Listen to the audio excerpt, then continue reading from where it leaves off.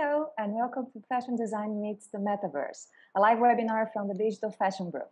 We are not in Xanadu or even in the Metaverse, but we are ready to discuss some ideas and concrete actions that are leading us to this new virtual future. Xanadu is a metaphor for opulence and idyllic place. What made us wonder is the metaverse pure opulence or it's actually the promised land? Hello, I'm Livia Pinay and I will moderate this panel today. Here with me is Richard Hobbs from Brand New Vision, talking from Hong Kong. Good evening, Richard. Thank you so much for staying up late for us. Relatively. okay. And hello to Dani Loftus from This Outfit Does Not Exist, joining from London. Hi, Dani, and thank you for being with us. Hi, Olivia. Thank you so much for inviting me to speak. Thank you. To complete the table, I'm calling two of our founders of the Digital Fashion Group, Leslie Holden in Belgium. Hi, Leslie. Hi, Olivia. And Sean Childs in Portugal. Hello there. Hi, Olivia, and hello, Richard, and hello, Dani. Yes, hello, Richard, and hello, Dani. hello, Leslie. hello, Sean. Hello, and thank you all for being here to explore and share your knowledge together and with the audience. Okay. For those who are watching, thank you so much for joining us. During the webinar, we'll be conducting tweet polls to get you to know how you feel about aspects of the metaverse. If you, the audience, okay, have any questions for the participants during the webinar, please post them in the Q&A session here. There's a window under your uh, Zoom window and stay until the session at the end. We will answer the best way we can, okay? This session is being recorded, answered, and polls and Q&A interactions are anonymized, okay? So, starting with Richard, what is the metaverse and why is that so important for fashion? Uh, that's a good question to start. You know, what are we talking about? Um, I think the the way I would best define it is um, not gaming. Um, it's open ended. It's a digital version of a combination of real life and um, other elements that people can access but it's important that it's open-ended. And the beauty of what's happening now is with DAOs, de- decentralized autonomous organizations, which are allowing the concept of NFTs and digital asset ownership and all of these elements eventually to be completely transferable across multiple um, use cases. Now, the problem that that comes to at the moment is there is not a single metaverse. There are lots of different metaverses being built by lots of different companies. Some of them are owned by companies, some of them are more on the decentralized area, but they all have multiple standards, multiple formats, and we're, we're quite some way away yet from having something where you can own something digitally and be able to utilize that. And in our case, we're talking about fashion, which comes down to wearability, and be able to transport that across different uh, locations. So I, I mean, we, we, can talk about Snow Crash, and we can talk about Philip K. Dick, and we can talk about you know other other people that are moving in different areas. But I think that's the way I would try and define it. Anything where eventually a digital asset can be easily transferred across multiple use cases, if that helps. Yes, very much. And Dani, uh, what would you say is the designer's place in the metaverse? Brilliant question, Livia. So around exactly what Richard said, the metaverse is not a game, but it is a virtual world. And I really see the digital designer's place as furthering and ensuring that we are immersed in the in that digital world. So the way that I perceive digital fashion, I see it uh, to have three distinct forms. So the first is what I would call physical digital fashion, which is a little bit of an oxymoron. And it's a digital fashion that comes in to inform the way that we produce physical garments. So the end garments are still physical clothes. The second is digital, so physical and digital combined. And that would be the digital fashion that can be worn on human beings. And the third is fully digital. So it's digital fashion that's sold direct to avatar. And when you look at the metaverse, I would say you're covering those, you're really covering the last two. So you're covering digital fashion and you're covering fully digital fashion. And if you look at the way that we consider fashion in the physical world, it allows us to shape our perceptions of ourselves when we're wearing garments, but also to shape others' perceptions of us. And so as we move into the metaverse, you have those functionalities, but really, really enhanced.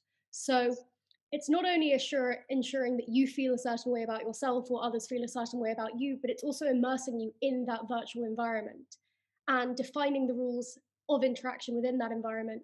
And designers have a really unique place of starting to set those guidelines and allowing you to express yourself and allowing you to feel that you are participating in worlds that would otherwise be unfamiliar. Yeah, perfect. Thank you. And uh, Leslie, even though this is controversial, but historically speaking, the fashion industry does not invest much in innovation and new technologies. The technology we are using today to create the metaverse was developed mainly by the gaming industry, as we were already talking about. This means that tools weren't exactly thought for fashion purposes. Uh, what does it mean for fashion designers? Yeah, it's a great question, Olivia, and a big question. I'll try and bring it together in the best I can. Um, just please stop me if I'm waffling on too long because it's a, it's a really interesting topic. It's very true that the fashion industry does not invest enough in innovation and new technologies, unlike the automotive industry, for example.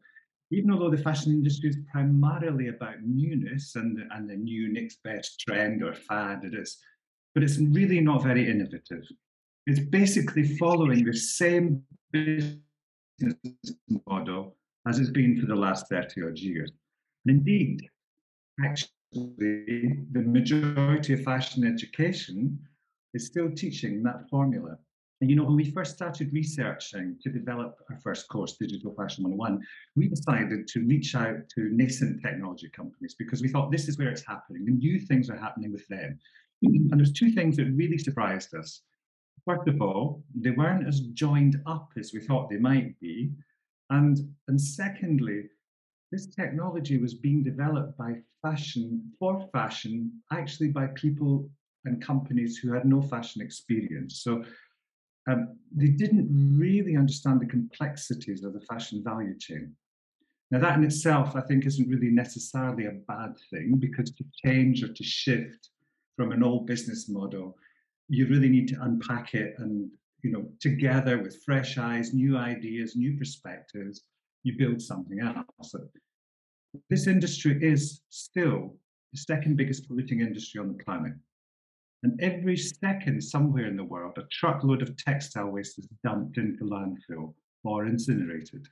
Only 1% of garments are recycled and that's because technology isn't good enough yet not being developed enough yet. Now, everything starts with education. And what you put in is what you get out. It's like an investment. And if you don't educate people to be innovative, you just get the same old. And, and then, then what do you get? Our mission in the Digital Fashion Group is to put the creative center stage in the fashion dialogue, empowered by a digital suite of appropriate technology which is designed specifically to ensure that that creative is the director of the product from ideation to product presentation. And there's no other people coming in and changing the ideas as they go along, like buyers or merchandisers or whatever. Sorry if you're a buyer or merchandiser out there. Fashion designers are historically taught to only understand the creative part of the value chain. So really don't have much understanding of what's happening further down the line. So one can actually say, I wouldn't really, but one could say that a reason for so much waste in the fashion industry could be bad or uninformed decisions at the creation stage. So I'm nearly done. we need to put a focus on technology, helping to turn the ideation into sustainability reality, sustainable realities. Now, fashion merging with gaming, which you mentioned in the question, has been something on the cards for a number of years. And this opens up huge potential for fashion designers. You know, in the UK alone, there's 5,000, around 5,000 fashion design graduates each year with limited opportunities for employment. So I see the metaverses opening up new marketplaces, new opportunities, new occupations for creatives in fashion who are desperately needing to ensure that there's less waste of fashion talent. And as you said, Livia, the technology we're using today to create the metaverse has, to, has, has been developed mainly by the gaming industry, which means that the tools weren't exactly thought for fashion purposes. And like, like the development of the metaverse itself, we do need to ensure a joined up, a joined up approach. Now, Epic Games knows this. We know that they know this because we've spoken to them. And, and of course, are already investing in fashion. And I see the metaverse as the beginning of a new definition of fashion, of fashion purpose, potentially powered by new partners. So it's a fantastic, it can be a fantastic opportunity for everybody. Absolutely. And which skills designers should be trained to work in the metaverse? And what does education need to be uh, to do to make this happen? Okay, well, uh, yeah, I, I think uh, setting aside the the obvious need for the hard skills that you need to master the array of the digital tools required to create within the digital world, uh, some of which we we had a bit of a glimpse with in the Gary James McQueen video clip from Unreal Engine in in the start. Um, there's a fundamental need for designers and people to understand and embrace research analysis and selection as the basis of the fashion develop, design development process that leads to design integrity at the end. And this for us is where the old traditional approach to design development has to merge with a new digital approach a key focus for us, as Leslie's mentioned at the Digital Fashion Group, is the mindset required for working as a digital fashion designer. Uh, this is not uh, apparent in everybody, and it's not immediately found uh, when you're when you're learning to be a designer in, in, the traditional sense in universities today, because it's not taught, as, as Leslie uh, says. Um, that this is the focus of our flagship digital course, uh, Digital Fashion 101, um, where we are really focused on understanding what this world is, what's happening in the world, and how you can inhabit it. In addition to the digital mindset, fashion designers really have to be able to translate the emotions that arise when researching the zeitgeist and working with physical elements such as fabrics, textures, trimmings, etc. This is the connection to the physical. Learning to work with and blend the real with the unreal is the primary skill I think that fashion designers need to now learn and they have to transition to a new digital reality uh, for the future. As Leslie says, this is opportunity for everybody to grow into a new area, new opportunities, new occupations, new collaborations. It's really, really interesting what this digital reality is going to be. Embracing mixed reality as a design development concept tool and having outputs that are relevant for both the metaverse and the universe is also a key point for any digital fashion designer to address in the future. You need to be able to work between the two. Of course, you could be a designer or develop as a designer who wants to work entirely in the digital world. There isn't really anything wrong with that, of course, but um, I think within fashion and our perhaps our traditional approach to fashion, there really does need to be something physical in order to feel it. That, of course, is also something missing at the moment in, in the digital world, but there are great strides uh, being made to, to solve those issues. Um, and one aspect I see of the fashion in the metaverse that, that's not yet really discussed, um, but I think it, it's, it's going to be coming into discussion. Obviously, the metaverse is so new, although it's been around a long time. It's new to many people. Um, it's really getting to grips with uh, what you're going to do in it, how you're going to deliver fashion, how you're going to design in it, what are you going to do, how are you going to inhabit it, how do you collaborate with people. One of the things that there is an opportunity for is in in the metaverse you can create unique assets so that there's only one of these unique assets. Now this is very similar to the approach to bespoke tailoring or couture design in the past, where you create one collect one outfit, not collection, one outfit for a customer. Uh, this you can take the same approach. However, of course, digitally, you can create so many different um, iterations of a unique asset uh, that there's going to be a flood of creative output, a flood of creative NFTs at the end of the day uh, that can exist within the metaverse. Um, but bearing this in mind, one thing that I think needs discussing is that the sheer volume of this uh, for a fashion designer in the metaverse um, could become unima- unimaginable in the traditional sense of how you deal with the pressure of creating and how you deal with the pressure of creating um, so many things. It's a bit like, you know, the, the large brand houses at the moment. Many designers have complained that they're under so much pressure to create, you know, 20, 30, 40 collections a year, uh, of course, with a team. Um, it's, it's a kind of relationship to that. Um, so I think mastering, uh, in, in the sense of the metaverse, in the sense of digital fashion design, mastering AI in the future is going to be something that's really interesting because the AI is something that can help alleviate this issue and remove the pressure from the designer. So, you know, this is, I think, something really important to look at as, as we move forward. At, well, as the metaverse develops, it's going to develop on its own. Let's see what happens. Um, but from a skill and designer's point of view and style and aesthetics, uh, I have a quote that I I hold dear to me, um, and it's by Suzy Menkes, who's an international fashion editor at large. Um, and it's about design. And it isn't good because you like it, you like it because it's good. Uh, and this is a vital reference, I think, that everyone in the physical and virtual worlds have to have about the principles of good design, which remain the same and should be applied throughout both worlds. Precisely. And Dani, uh, which features do would you would be interesting to have on a tool specific for fashion designers to create for the metaverse? I really, really love this question, Livia. So you obviously have the basics, you know, you have the ability to create patterns, to create clothes through tools like Clo 3D or Marvelous Designer. But I think what's very unique when you're moving into the metaverse and successfully being a designer are these two elements of utility and sovereignty. So when the NFT craze first started, something that I found relatively disagreeable was the fact that people were selling digital fashion that couldn't be worn. And to me, that's digital art, right? Because art is meant to be exhibited, but fashion is meant to be worn. And it's the same as kind of fashion photography when it's, you know, a stunning dress, but you can't actually have it demonstrate its function.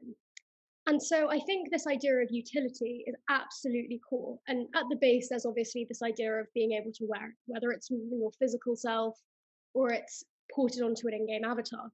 But what is so exciting about digital fashion in the metaverse is utility doesn't have to stop there. So, as I said before, when you're wearing something in the physical world, it allows you to enhance your perception of yourself and also enhance the way that others perceive you. But unless it's a specialized form of equipment, you know, let's say a, a windbreaker jacket that protects you when you're mountain climbing or a jetpack, it doesn't provide you with a specific set of abilities that further that enhancement. Whereas the second you move into the digital realm, especially the fully digital realm, you can have that. So if you're designing fashion and game, you want to design something intimidating, you want to design something that would manifest as a black leather trench coat in the physical world. Well, imagine if it's a black hole and it could suck people in. Imagine if you have a cat suit that gives you utility of becoming more agile. So this element of functionality is super exciting. So one of the things that I would envision is you as a fashion designer create a garment and a tool then created by game designers would suggest all of the functionalities you can input into it to, move from this idea of a garment that alters perception of you to actually having that essential in-game functionality. So that's one that I think is really important. The second one is this idea of a united sovereign identity. And Richard referenced this, the fact that we're not in a state where there is one metaverse. And ultimately, what a metaverse is, it's not an in-game world. It's going to be a virtual layer on the top of our physical world where you can do everything from have a coffee with your friends to you know yes engage in games or storylines but also make a living. And yes there'll be various components of that such as let's say you want to go into Fortnite you want to go into Roblox you want to go into games but ultimately it's one singular world. And at the moment what you have with a lot of proto metaverses so existing games is that collections are limited to that game so it operates as a walled garden so if I'm a designer and I create a garment for Fortnite, or I'm a consumer wearing a garment in Fortnite, I can't then wear that same garment in Animal Crossing. I can't then wear that same garment in, you know, Roblox or in Decentraland. And that's a massive inhibitor because as you move into the virtual world, you will have a singular identity or set of identities. And I think we all know how important what you wear is to solidifying that identity. And so if you have to hop around, that's not great. So one of the big developments is going to be in the next, you know, five or ten years, this interoperability. So what you wear in one game will be able to be worn in another. But what's very interesting is this will take very different forms. So if you look at, I would say, Unicode emojis is a good example. A smiley face on your Android is not going to look the same as a smiley face on your iPhone, but it should communicate the same things. And with fashion design, I can envision a tool where you can create the base garment. So let's say a red dress, but then you can see how it will look in all of the different virtual worlds and proto metaverses you're going to import it into. So it will be a 240 by 240 pixelated square when you're moving into um, into Cryptovoxels, and then it will be completely different in Fortnite, and it will allow a designer to create something that can be communally distributed, but also make sure that they retain the kind of authenticity of their work and that there isn't this divorce where you've created some stunning garment in one specific graphic format and then the second you move into the other it looks absolutely horrible and it doesn't fit anymore. So those are the two things that i would see as really essential in a future metaverse tool. I feel quite good futures in there And in what ways are traditional and traditional analog design process still important from the designer, and how will this continue when we are in, all in the metaverse? This question is for all of all the four of you. Can, can I just pick up on um, what uh, what Dani was saying there about the, developing the interoper- interoperability? Sorry, it's late and standardization. I totally concur and totally agree that that's something that needs to be developed. Um, and it's something that we're actually researching at the moment, um, seeing how we can actually create something um, with which could develop exactly what you described. So you you could own a token, and within that token, as well as having a beautiful high res, high definition, collectible version of a product, because I think harking back again, the integrity of the design, the the process the attention to detail. These are still absolutely important, even if it's a virtual only product. People want to know that there's some effort expended, there's some there's some creative input putting that product together, and it's not just a voxelated box because that's easy. They can, that everybody can do that within half an hour of accessing any of those types of programs. So I think it's really important that that element is there. But then having within that one token the capabilities to take versions of the same article and move it into the different environments. Because they like as dani said they're all looking slightly different. Um, so there has to be something that ties it all together. So actually it's it's very early stages yet and i probably shouldn't even be talking about it but we've got a research group working on how we could potentially build a standard which would allow that to happen. Yeah. Yeah that, that's a very good that's a very good point also richard and mm. okay, so now I will I will back to you for this question about uh, the traditional analog design process. Uh, how do you believe this will continue in the metaverse? You know, one of the things. Sorry, oh, sorry. Okay, so um, one of the things that um, I'm really questioning when I look at fashion in the metaverse, and um, Sean and I have discussed this as well um, how you're designing too um, is, is more towards um, an art form or an illustration than fashion. So I'm interested to understand the the difference that perhaps how will the fashion industry actually be engaging with the metaverse? How will fashion designers who are designing clothes and going to be in the analog, but to twin, will they be on the metaverse? So that's maybe I'm asking a question back to back to Dani and Richard as well. Actually, how how's it going to? Because it's it's all very early days still, isn't it? Well, if I can go first, and then Dani can come in after. Um, there are various tools that people are using in the main, Um, and predominantly it's CLO when it comes to apparel, CLO 3D, uh, which obviously came from Marvelous, and then there's a reverse back into Marvelous, which is going on now. But there is no easy way of going from Marvelous or, or into Unreal. So when you're talking about um, real-time material physics and the like, that's where it needs to be. So there is no easy path to go from one to the other. So it's still a very hands-on thing. So the skill sets that are needed are actually combine, merging those aspects from the um, design world that we know traditionally, which is now moving into using 3D design tools like CLO and Browzwear and EFI, etc. Um, but then merging that with the capabilities that come with working with a game engine so that you can actually really enhance that. Because some of the stuff that we're working on at the moment is what I'm calling elevated NFT. So it's it's still a beautiful piece of product, um, and we're doing them with brands. But within that product itself, there's other elements that you can put in. You can tell stories within the garment. You can have interactive elements within the garment. You can open it up and find hidden things which you would not expect to exist. Like Dani was, you know, uh, even a black hole.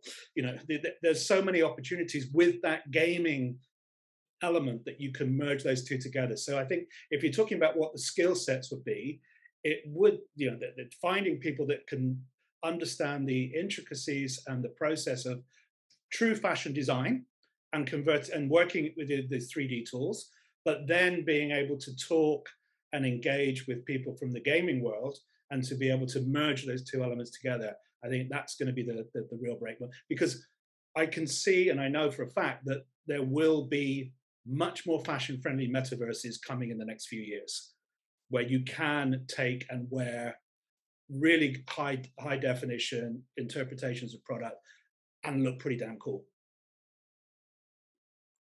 yeah dani do you like to add something so I completely agree with Richard in terms of having the skill set that combines traditional design with an understanding of game engines and the spaces you design for.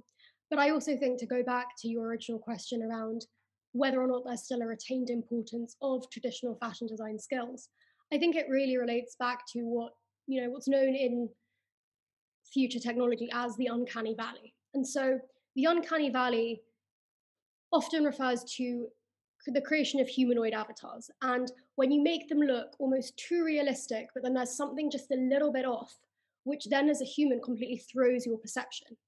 And I think you can have exactly the same thing with fashion. So you can create a garment in the metaverse and you can be a very, very skilled digital creator. But if you don't understand how it actually fits or how it moves, it's going to actually be very jarring as a garment. So, in that way, I think this understanding of patterns and this understanding of form is still absolutely integral. And then I also think there really is no substitute for the creativity and the understanding of your craft that you have as a designer and how that can then move into the metaverse. You know, an understanding of tailoring, for example, or the understanding of form, and then combining that with in game functionalities.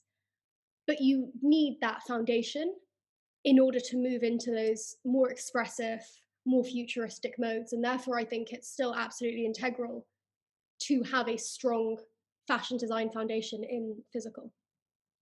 Mm, thank you, Dani. I, I think if I just uh, chip in, yes, exactly. And and I talked before about you know the research element and the fabric element and tactile and and emotion, and this is a, a vital um, training for a designer. I think what it's what you grow up with when you want to to be creative, when you want to be a designer, and whether you're digital or not, I think that's going to be the same. This is going to drive you as a child in in your imagination uh, as you develop and lead you into the creative world.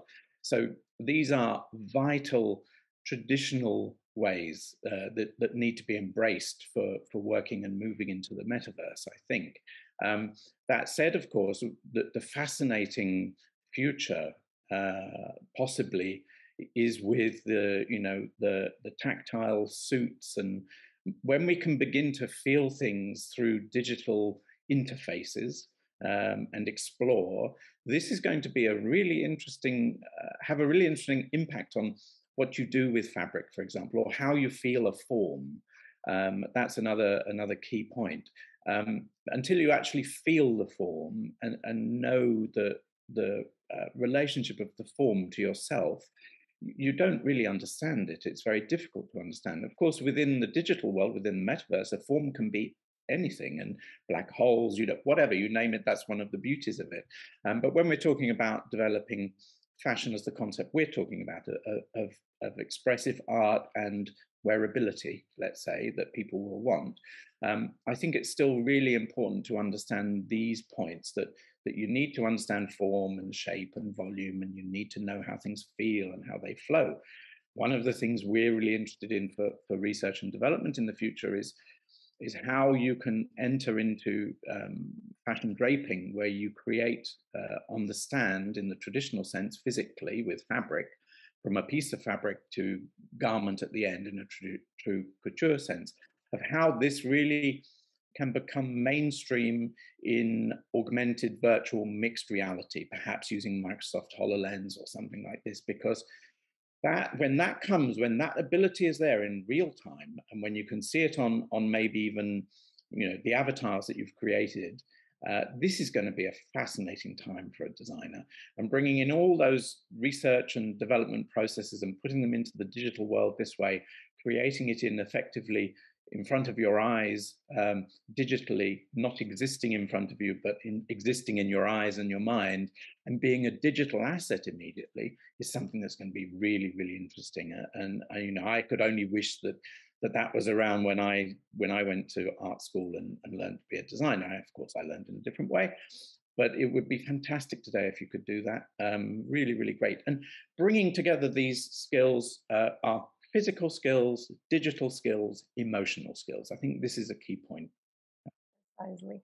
We are heading our final minutes. And before uh, the last round of questions for all of you, I would like to remember the audience, you can send us questions for the Q&A.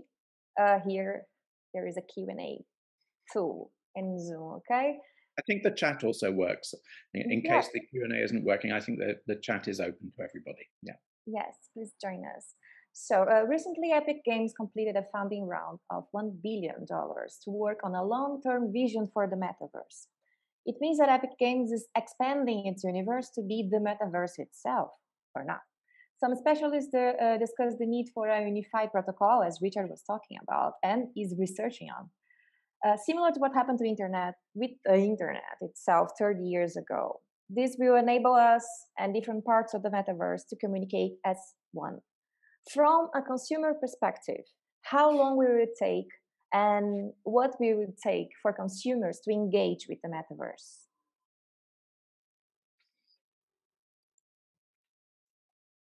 Shall I throw some things out yeah. that one? Yeah, yeah. You should throw the first, yes. um, we are just at the very beginning of just touching the most adventurous end consumers of digital products.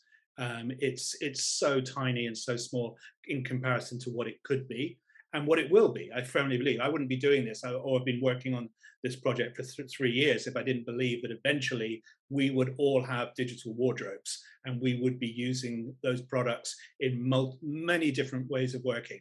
But to actually, I mean, I'll, I'll go back when I first tried to buy crypto, Ethereum, to be able to engage with it. I gave up on any number of occasions because it it's, it was extremely difficult. It's a very time-consuming and frustrating process, and it was never made easy because it was designed by geeks for geeks. Um, it's changing and it's becoming a little bit more accessible, but still, the concept of having a, a wallet, a crypto wallet, which holds this stuff that doesn't exist to buy things that don't exist, um, is still very difficult for a lot of people to get their heads around. So I think part of what our job and other people that are operating in this area is to break down some of those barriers, to make things easier to understand, to demystify some of those processes and explain. And you know, part of what we're doing now with our, our, recently revamped website is you know going right back to basics. What is a crypto wallet? How do you use it? What are the risks? What are the scary points? Just be very very transparent and open about it and talk about the different blockchain uh, protocols the different things and get people to understand it hopefully in a very simple way. Um, so i think still it's going to take some time. Um, one of the processes that we're going to undertake is is airdropping, so giving away NFTs. Um, it's you know it's a it's a it's a costly expense, and we're looking at it very much as it's, it's a bit of marketing, but it's also enabling people to go through the process of actually opening a wallet, owning something, but they actually don't have to buy Ether. They might have to when they want to trade it or they do something else with it, but it gets them engaged in this world. So that's one of our plans. Um, but I still think you know it's it's three five years. But I, I always said um, year, up to a year ago, I was telling people that within three years, everybody that's buying anything online will have at least one crypto wallet and will be purchasing things, and not just fashion. It will be music. You'll be paying your bills. You'll be. you just have to look at Axie Infinity as a, as an example of how now their um, what they call their SLP, which is part of their token structure, is now being used in the Philippines to pay for groceries and living expenses. Um, I'd, I'd, highly recommend anyone to look into Axie as not as a, an example of fashion, but how economies can evolve. And that will be what also creates opportunities in the fashion world. Yep. Can I ask a question, Richard, Dani? Um, NFTs. Uh, I mean, there's like suddenly NFTs are everywhere in the news. You know, it's like the last few months. You know, nobody had really heard about them, and suddenly, you know, they're everywhere. And I just heard on the radio this morning um, about how it was in a conversation about how NFTs um, were being used or could be used for people buying luxury products to move money around the world that you you know you couldn't trace. You couldn't trace what they were doing with their money. Um, so that opens up a whole other question about the use of N- NFTs. Um, is it is it going to be particularly aimed at the luxury market? Is that so, where it's going? I, th- I think that's a great question, and I can start answering that. And obviously, Richard, you know, come in. Um, so I actually began my career in blockchain, and I began it, you know, in 2018, where it was even more deregulated. I think at the moment with NFTs, they're a costly endeavor, right? There's the cost of actually creating the good. Then there's the cost of minting it, which is when you put it on a specific blockchain. And then there are various gas fees, which are the fees of transferring it when you sell it. So obviously, whenever you have barriers like that, it brings it into a higher echelon market. And equally, the success of NFTs is built around these communities. And luxury brands obviously have large communities who can afford to spend money on these goods. However, as the way that blockchains are created changes, as the cost of developing 3D goods decreases, obviously NFTs similarly the cost of creating them will go down and therefore they can be democratized. And I think around the consumption question, and I actually wrote an explainer piece on this, and it was this idea of what does it actually mean that you buy when you buy digital fashion and how does this relate back to its value? And so i mapped it against a couple of things. So if you have a physical fashion garment you can wear it where you like you can wear it when you like you can wear it how you like and you can make modifications to it and with digital fashion now it takes a couple of forms so it takes the form of physical render where you're essentially paying for a photograph of yourself in a digital garment and that's in general one off. And part of the reason for that is the way that these garments are put on people is through using in game engines. And the process will take, if you want to have it done well, like four or five hours. And so at the moment, that's not scalable. And therefore, you're paying, let's say, for a photo in a dress, where the dress would normally, let's say, cost you $1,000, you can have it on a photo of you for $30, which is exciting, but it's not quite ownership. What NFT does, which is very exciting, is it gives you an ability to actually own a garment, so have it in your virtual wardrobe. You then can add in overlaid functionalities where you can wear it as many times as you like. You can also, with certain what's known as fractionalized ownership, where you can, and there's a company called Async Art which is doing it in a really incredible way in the art world, where you buy a base layer. So the base layer would be a dress, but then you can buy layers on top of it, which add to the way that the dress looks. So you can modify it like you would a physical garment. And then you can also trade it or give it away in the way you would with a physical garment. So that's why NFTs are so important because they mean that you have ownership capabilities which resemble the ownership capabilities you'd have over a physical garment instead of it just being something which is used to enhance a photo. Um, and then there's also, you know, a ton of really exciting possibilities around what I call democratizing fashion. So, what's brilliant about NFTs is if you are a digital designer and you create an NFT, you can have royalty fees programmed in. So, every single time that garment is resold, you will get a cut of the profits. So it becomes a business model that can consistently sustain you. And you know, we see it in the physical fashion world really taking off, you know, in the past four or five years, the idea of resale. And there's obviously also going to be digital fashion resale, and you can benefit from that resale of your product. You can also have far more protection around your intellectual property because you can show that you were the first person to create something. And finally, this idea of fractionalization also goes back to the creative process. So there are certain companies which are developing fashion garments where multiple designers on blockchain can input into the creation. So if you look at the kimono I'm wearing, one person could have made this lovely tiger print, one person could have made the shape of it, one person could have selected the color. And as the entire physical garment is sold as an NFT, proportional fees will go to all of those people. So they're, they're correctly um, paid for their work. And first of all, this is so exciting because it adds to equity, but it also incentivizes people to collaborate in ways that they're not necessarily encouraged to in the physical fashion world, which I think is really exciting. Indeed. We are heading our five last minutes, but I believe we have time for one question from our Q&A. I first I would like to congratulate the participants. The questions are and the audience because the answers from you are amazing and the questions from the audience are very very intriguing. And a few i believe we are not able to answer right now but probably we are going to answer in a in a further moment. I'd like to uh, to write a few articles about these questions. But oh, absolutely yeah. amazing. But there is one question that i believe we, we can end up the discussion with that. Um every, every is here asking us about. Leslie mentioned that only in the UK each year around uh, 5,000 uh, fashion graduates enter the workforce of our, our industry. If new digital skills are, of course, needed, especially to explore and make a living in the metaverse, how do you see these graduates survive to the skills they have gathered during their studies? And will they have a chance to upgrade their skills? And if yes, will it be enough to add value to their CV? Oh, can I answer that? Yes. I start? Well, my main advice would be to um, join the digital fashion group's next course. Of course. I mean, really, every you handed that to me.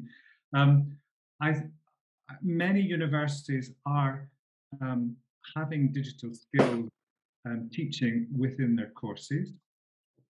Um, however, I do know that Clo, for example, is the largest supplier of um, uh, digital software to education in Europe, and they have 71 uh, clients within Europe. So there's there must be at least 400 fashion design degrees within Europe. So there's still a long way to go. And one of the things that I see is that although there are, is training in Clo or Browzwear or whatever, it's on quite a basic level. And that normally the student has to be responsible for learning these softwares these skills by themselves, for themselves. And there's not a training to really know what to do with the skills once you've got them. You know, how do you connect them with your practice in other ways? How do they connect to other parts of the industry, etc.? And really, that was the main reason that the Digital Fashion Group was born. Um, so, yeah, I think that's uh, that's my answer to everything. Anybody else got an answer? Hmm. That's good. You've covered it. There's so many questions here. We have to have time for answering some more of them. Yes, I think we can answer in a very uh, uh, in a short time. Yeah. This question from Holly. What advice do you have for someone with a traditional fashion design, pattern cutting, uh, cutting, and creative education in order to gain the skills needed for merging with the gaming industry or the metaverse? Of course, they have to do a digital fashion group course. Sorry. Yeah. Um, Sean, maybe you would like to take this one. Uh, I, I was actually just preparing to answer another one, but uh, but that's okay. okay. or uh, Dani, maybe Dani should take this yes. one. Yeah, Dani, could you feel that? I mean, I, I would say take a digital fashion group course. Um, I think what's really, really brilliant is there are a real wealth of resources out there which teach you essentially for free the basics of this. And there's this really vibrant community of digital designers. So I'd advise looking at the work of Stephy Fung. I also have a newsletter called The How, What, Why of Digital Fashion, which has at the end of it resources for digital designers. And also, um, I work very closely with the leading digital fashion house called The Fabricant, and they do Twitch streams where they digital they digitally design live. So I'd really, you know, it's so exceptional that now there is actually a course out there to train you in this and train you in the mindset because so many people have bootstrapped their way you know onto this through experimentation and i still think that is a massive part of it you know. I'm sure when you started actually designing physical fashion there's a lot of it that's just trial and error and it's starting there and it's really drawing on these community resources and it's having this open mindedness that you're not going to be perfect instantaneously and no one expects you to, but you can learn these new skills and train them for yourself, and they're going to be incredibly valuable. I'll add in there. There's one one thing that's very uh, different between old world designing and new world designing is um, you would hand sketch something, put it into a tech pack, and it would disappear for weeks on end, and then something would come back which was completely wrong because something was misspelt, misunderstood, misread, and then you have to start the process all over again before you get to there. The beauty of, of digital design is, and now with you know top quality, high class, fast rendering, you can technically and and aesthetically review and revise things in in minutes, and you have the ability to be able to share that with, let's say, contributors or decision makers. So again, what you when I started in this world, you'd spend six months putting a season's collection together. Then you'd have to fly people in from all over the world to one location to do product presentations and salesman sample reviews and pricing meetings and all of this stuff.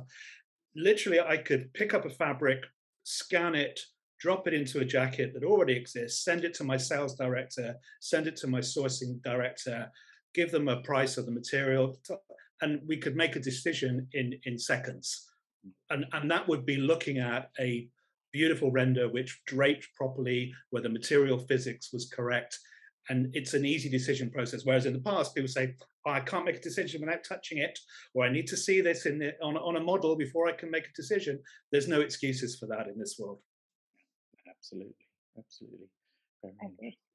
If I, I, I, just one of the questions i know we'll, we'll, maybe if i round up with a question a, a, little bit of the questions that i was looking at and then probably we can uh, we can say goodbye i think but um, there, there's a, a, a, couple of questions which involve elitism in mm. uh, development and diversity, inclusivity, um, and you know the value of things, uh, of, of, why people are buying or want to buy, and cultural shifts and everything. I mean, I'm summarizing these these few questions together, but one of the things that comes to me there is yes, I think everybody has to be extremely careful in the metaverse of inclusivity, diversity, and elitism. It, it happens in society. It's going to happen in the metaverse. This is going to be a very interesting thing to see how that's dealt with and who deals with it and how they deal with it.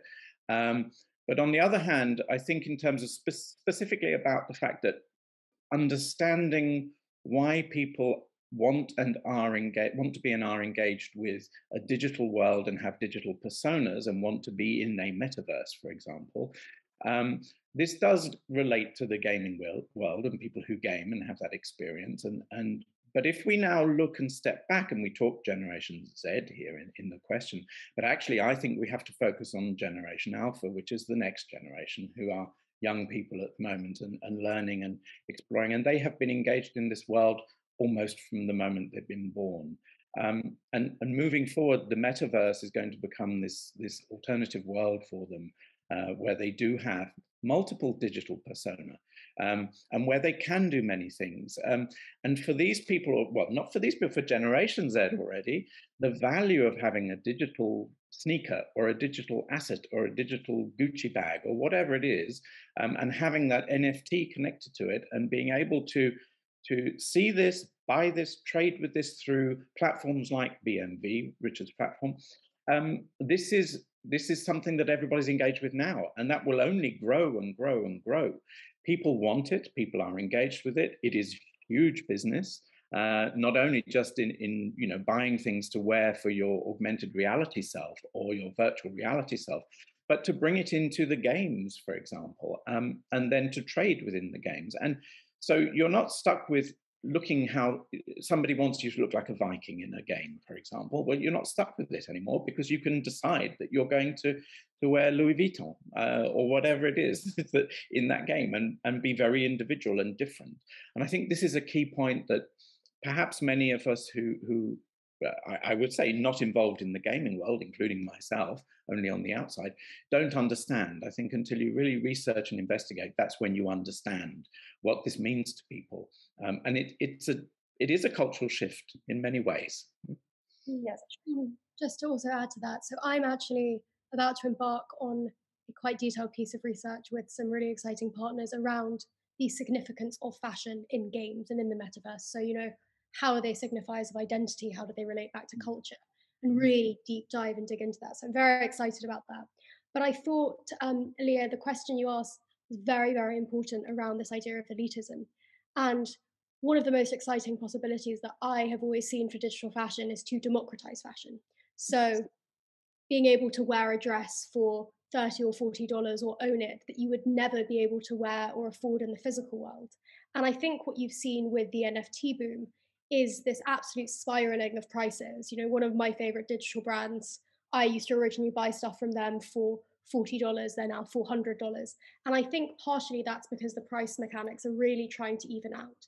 On the one hand, what you have is the value of these goods, they still have so much time and so much craftsmanship, and they need to be priced accordingly but then they also need to be perceived as a way to broaden fashion, allow people in countries who'd never be able to access fashion or indeed showcase their designs to have this accessibility.